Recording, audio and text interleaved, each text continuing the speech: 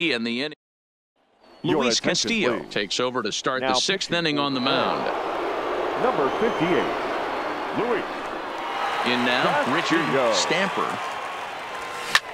A swing and a drive sent out toward the gap. Racing back the center fielder. Still going back. And it's gone as they add still another.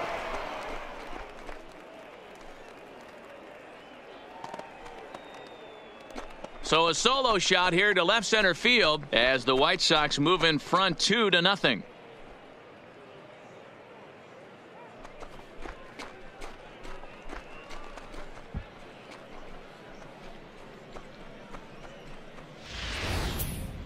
Wow, that's a tough one. Certainly not the way you want to start your day as a relief pitcher giving up a home run.